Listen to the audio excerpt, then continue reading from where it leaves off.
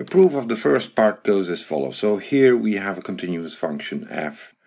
Yeah, is the graph of a continuous function f and take some x in the open interval ab, so x in between a and b, and take h so small that x plus h is also still contained in a b. Yeah, and we consider the function on x and x plus h.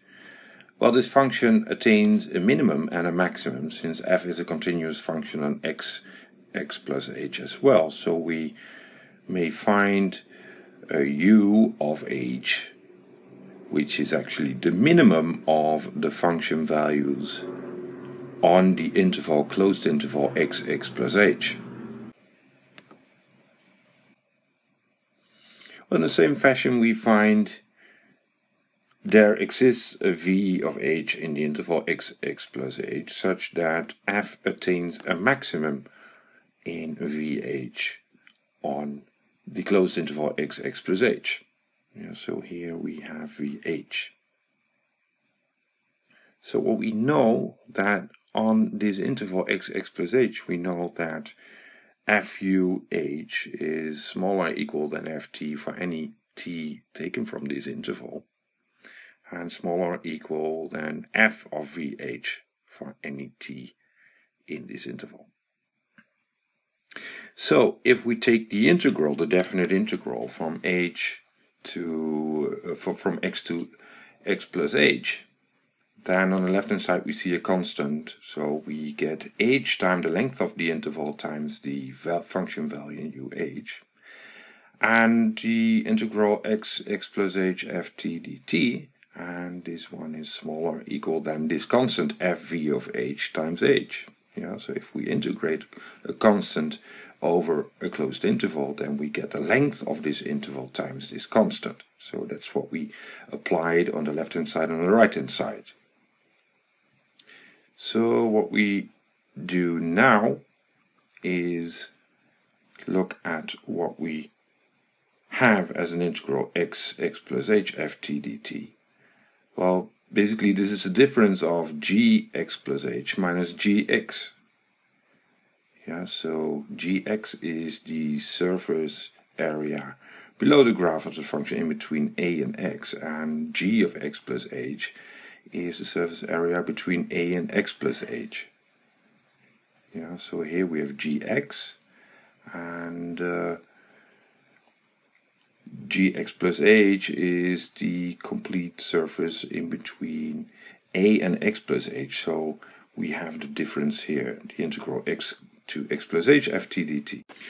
Assume now that h is larger than 0 and uh, we divide the inequality that we have here by h, the inequality. So on the left hand side we get fuh, in the middle we get the differential quotient gx plus h minus gx divided by h, and on the right hand side we get fvh.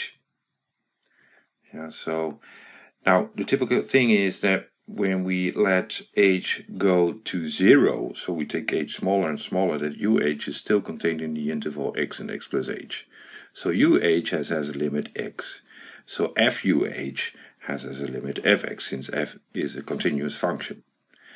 And uh, now we may show that if we take the limit for h to 0 of the differential quotient, then it's also smaller for the same reason than fx since fvh converges to fx. So we see that the right limit in the differential quotient, um, so the limit to h0 plus of gx plus h minus gx divided by h is equal to fx. Well, something similar happens if we look at h smaller than 0. Well, it's not depicted in the in the figure above, but the, the thing, the technique works the same, then if we divide the inequalities by h, then we divide by something negative. So the inequality signs, they flip. So we get fuh is larger and equal than the differential quotient g of x plus h minus gx divided by h. And this is larger and equal than fvh. Again, if we let h go to 0, then fuh converges to fx and fvh converges to fx. So the term in the middle, the differential quotient, converges to fx as well. Yeah, since it's enclosed by fx and, and fx. So the left limit of the differential quotient also exists and equals fx. So if we now combine these two limits, the right limit exists for h to 0 plus and the left limit h to 0 minus exists. So the limit for h to 0 exists and uh, if this one exists then we know that the derivative in x exists and also that it equals f of x. And this is exactly the first step that we need to needed to show for the main theorem of calculus.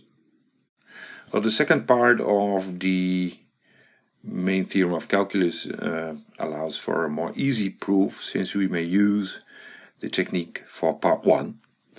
So we if f is a continuous function on AB then we may construct a primitive of the function by gx equals the integral of a to x of ft dt.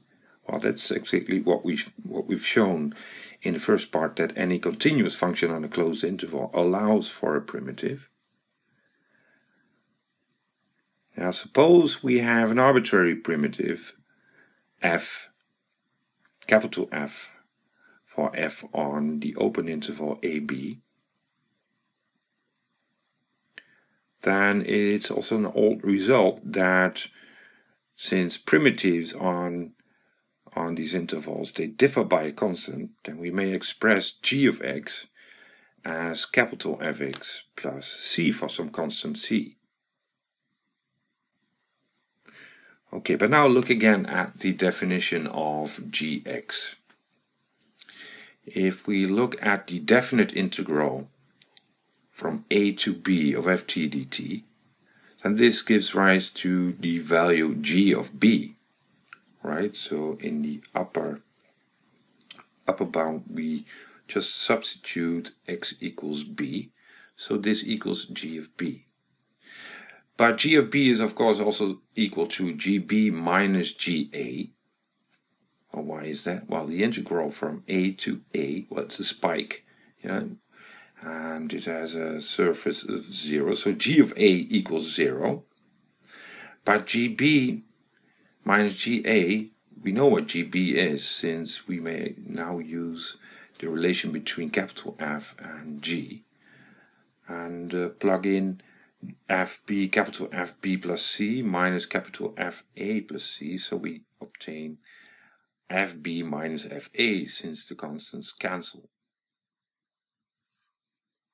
And this completes the proof of part 2. So if we have any primitive, if we know some primitive of a function f, then we may just calculate the definite integral from a to b of ft dt by evaluating this primitive in the endpoints, so fb minus fa.